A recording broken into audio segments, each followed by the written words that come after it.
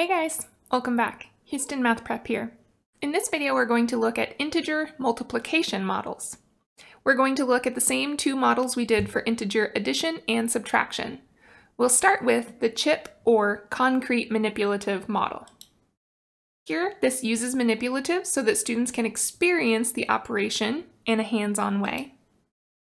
It still is emphasizing the fact that opposite integers add to zero, and it can be inexpensively done and easily replicated at home.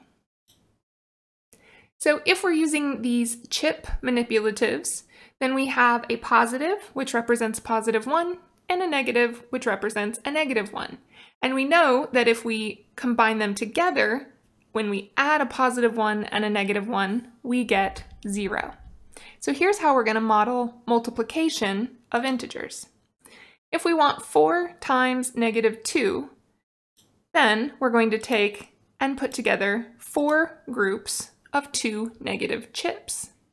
Now we can look at how many of what type of chip do we have here in the end. Well, if we count them up, we have eight negative chips. So 4 times negative 2 would be negative 8.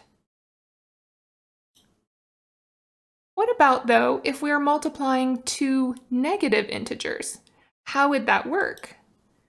Let's look at negative 2 times negative 4. Here, we're going to read negative 2 as take away two groups of, and then negative 4 is going to be the size of group that we need.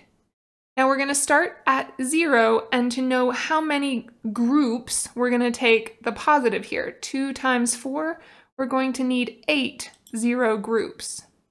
So here we have one, two, three, four, five, six, seven, eight zero groups. So let's think about this again. We're going to take away two groups of negative 4. So if I take those away, and then I look at what's left, I have eight positive chips left. So negative 2 times negative 4 will be positive 8. All right, now let's look at our number line model and how we can use it for integer multiplication. Here some benefits of this model are that it reinforces the idea of opposites by having students move left and right.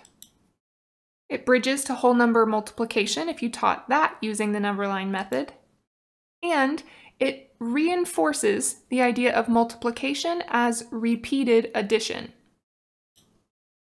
So let's model 3 times negative 1. These values are going to tell us how many steps to take, in what direction, and which way to face. So let's look at all of that.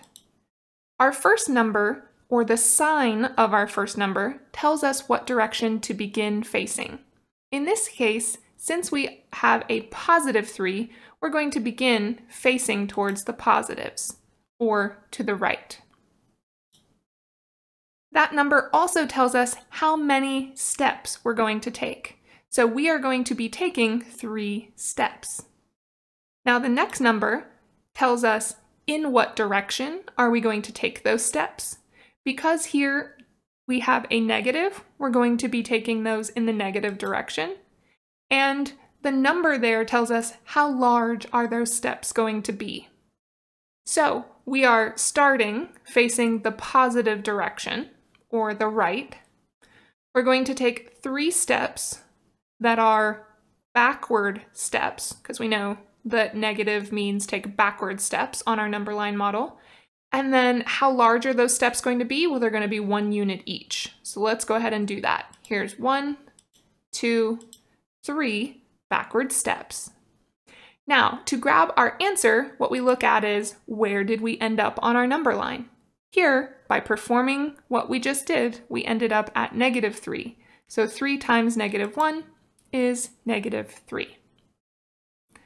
Okay, let's try that again on another example. Negative 4 times 1. Remember, here our negative says we're going to face towards the negatives or face left. So there's our little creature facing left. The 4 says we're going to take four steps. Because our second value is a positive, we are going to take forward steps. and they are going to be of size 1. So now that we're oriented correctly, let's go ahead and take those four forward steps of size 1. 1, 2, 3, 4.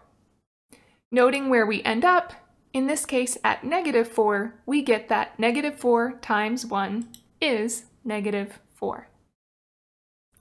Okay, so we've seen two different combinations of multiplying a positive and a negative.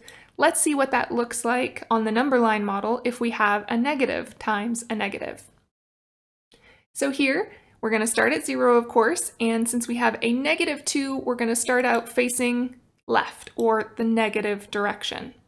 We're going to take two steps. They're going to be backward steps, and they're going to be three units each. So these are going to be big steps. We're going to really have to stretch our little creature's legs here. So here's our first backward step of size 3, and here's our second backward step of size 3. Once we've completed our two backward steps of size 3, we end up at 6. So negative 2 times negative 3 is 6. Alright guys, well that does it for this video on integer multiplication models. Until next time, we'll catch you in a future video.